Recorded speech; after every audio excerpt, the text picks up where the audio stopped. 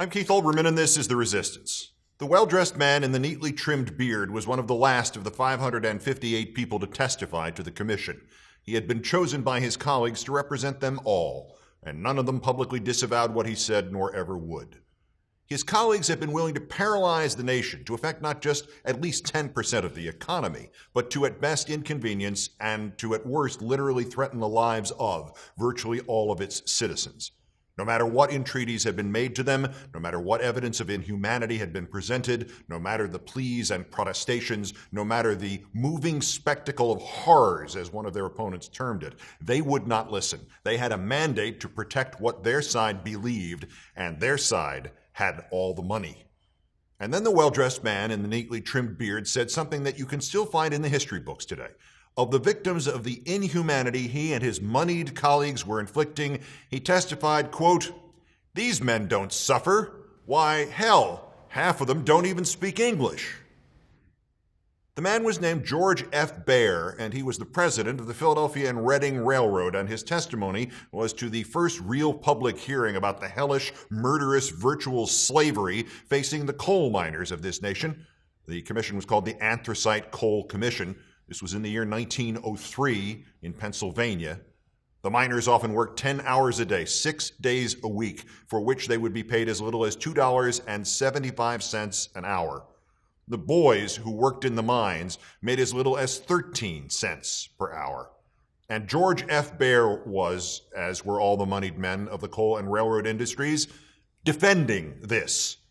Baer had become their spokesman because a letter he had written had leaked and been published. The rights and interests of the laboring man will be protected and cared for not by the labor agitators, but by the Christian men of property to whom God has given control of the property rights of this country. That made him a hero.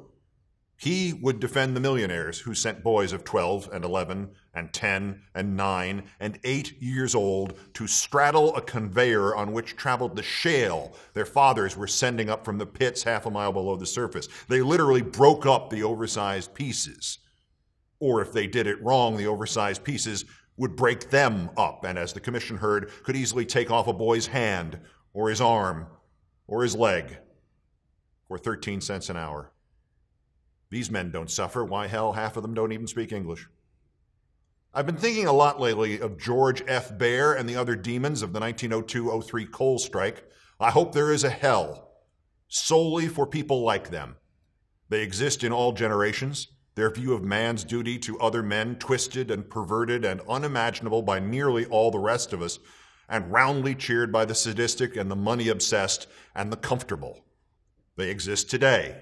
They are the people like Donald Trump and Paul Ryan and the others involved in the repeal of the often ineffective, long from finished first step towards establishing the absolute and inalienable right of every man and woman and child in this country to have their health minimally protected through the intervention of the government.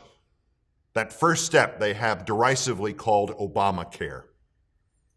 Trump and his ilk look at the transplant recipients who gained new life under Obamacare and will now have no means of paying for the drugs to keep themselves alive, and they shrug and congratulate themselves on tax cuts for themselves. Trump and his ilk look at the special needs kids who will have no insurance and see only, quote, liberal tears.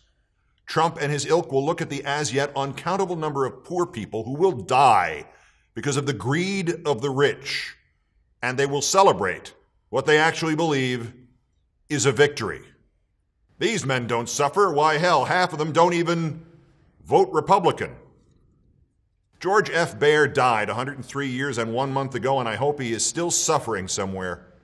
All that he knew, the railroad industry and the coal industry that used to dominate this nation, it's all gone. Without the government, there would be no train service at all in this country, and coal mining is an afterthought no matter Trump's false promises. And child labor is, in retrospect, impossible to believe. But man's inhumanity to man lives on in Donald Trump and Paul Ryan and in every other so called human being who fought to repeal the Affordable Health Care Act. Be heartbroken, be terrified, be angry, but mostly be calmly vengeful. Quietly, persistently, permanently, vengeful. To Trump and Ryan and every so called man and woman who voted for this medieval act, this barbarism, we know your names. We will destroy your careers. We will make you suffer.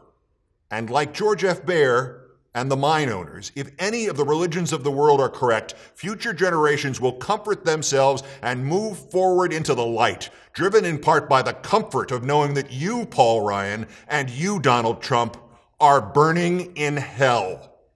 Resist. Peace.